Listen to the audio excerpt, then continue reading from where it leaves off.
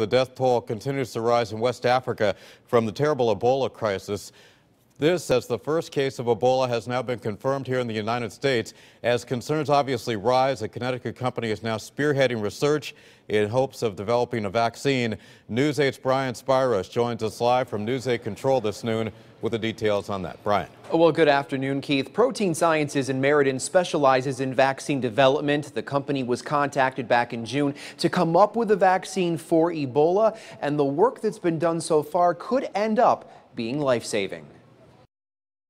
As the first case of Ebola has been found in the states, there's a major focus on fighting the virus right here in Connecticut. We are producing the uh, protective antigen as we speak. Protein Sciences in Meriden is no stranger to producing vaccines. They already have one for the flu. Now they're developing a vaccine for Ebola. The way this disease is evolving at this moment in time, I think it's important enough to be prepared. It's very important that we get something out there pretty quickly.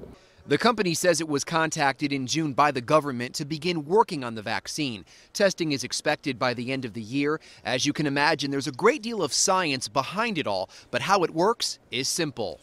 It trains your immune system to stop the virus if it tries to infect your body. Now, this vaccine wouldn't be given to people who already have Ebola, but rather used as a preventative measure, especially for those working on the front lines of it all, such as the doctors and the nurses.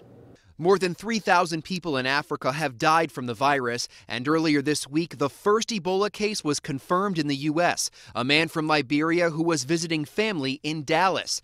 FDA approval on the Protein Sciences vaccine could take years, but the goal is to get it out much faster than that. It very much depends on what the emergency situation is and what the alternative is. I believe that if I were to be deployed to Africa, I would rather take something than nothing.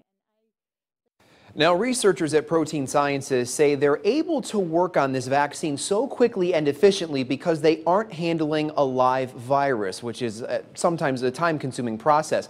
Now, even if final FDA approval does take years, in the meantime, they're able to issue what's called an emergency use authorization, which will allow people to take the vaccine.